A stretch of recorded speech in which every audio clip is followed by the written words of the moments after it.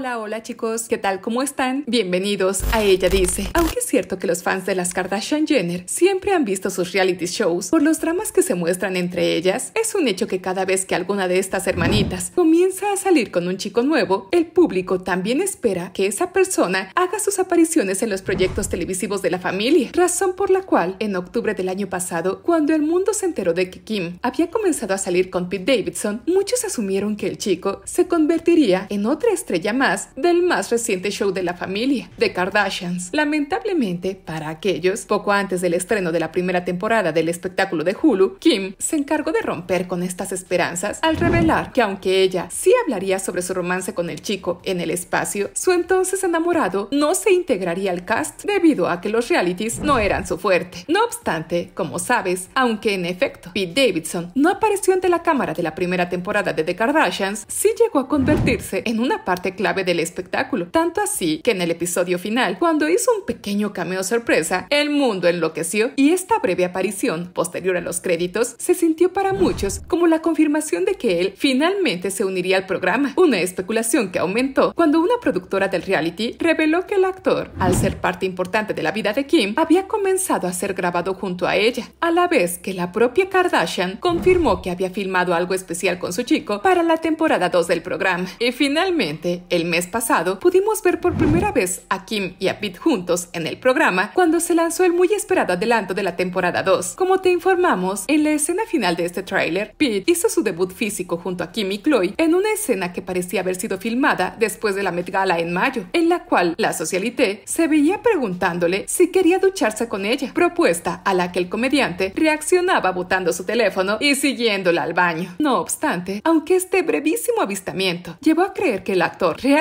participaría en la temporada 2, la incursión de Pete al espectáculo parece que se ha venido abajo, o al menos eso es lo que se ha informado esta semana. Según lo que ha confiado una fuente cercana a la familia, a pesar del prometedor tráiler, Pete Davidson en realidad apenas aparecerá en The Kardashians temporada 2. Él solo tendrá algunos cameos en segundo plano, pero el mundo de la telerrealidad no está hecho para personas como Pete, ha asegurado la fuente. Al momento, no está claro si las escenas que involucraban a Pete se eliminaron del programa después de la repentina separación de él y Kim, o si desde un principio él nunca participó demasiado. Y es que independientemente de su relación con la magnate, hoy en día se dice que el chico jamás estuvo involucrado demasiado en el programa debido a sus problemas de salud mental. Para quienes no lo sepan, a Pete Davidson se le diagnosticó un trastorno de límite de la personalidad en el 2017, por lo que desde entonces él se ha mantenido alejado de las redes sociales e incluso ha tomado la decisión de eliminar su cuenta de Instagram, asegurando que el Internet es es un lugar malvado. Siguiendo esta línea, los informes oficiales aseguran que aunque él es un actor, los reality shows no le resultan muy agradables, ya que finalmente no es lo mismo adoptar un rol frente a las cámaras, el cual la gente sabe que es ficticio, que presentarse al mundo tal y como se es en realidad, pues eso es exponer la intimidad y no cualquiera está dispuesto a ello. En lo que esperamos y descubrimos cuánto aparecerá realmente Pete Davidson en el programa cuando regrese a las pantallas en septiembre, quisiéramos saber tu opinión. ¿Crees que como ahora se ha asegurado, Pete Davidson en realidad nunca tuvo demasiada participación en The Kardashians? ¿O ha sido a raíz de su separación con Kim Kardashian que la producción ha borrado todas las escenas en las que él aparecía?